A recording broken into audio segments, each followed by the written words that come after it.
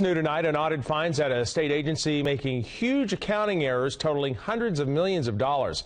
KCRA 3's Richard Sharp explains what the Public Utilities Commission was doing wrong and what they're doing to try and fix the problem.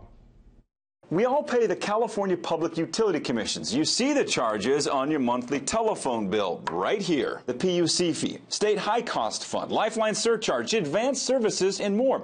They amount to dollars and pennies on your bill. But the agency in charge of all that money has major accounting problems, according to an audit by the State Department of Finance. We looked at all of the 14 funds that the PUC administers, and seven of them had differences of more than a million dollars. H.D. Palmer with the Department of Finance said the differences between between what the PUC was telling them and what they were reporting to the state controller's office totaled more than $400 million. Now, that's not a rounding error. Lawmakers criticized the PUC for the accounting problems today at the Capitol. The audit is no surprise to John Coupal with the Howard Jarvis Taxpayers Association. I think the legislature was absolutely correct to be outraged at this lack of oversight. The California Public Utility Commission would not return our calls today, but in the audit, they agreed with most of the findings, admitting to the accounting errors.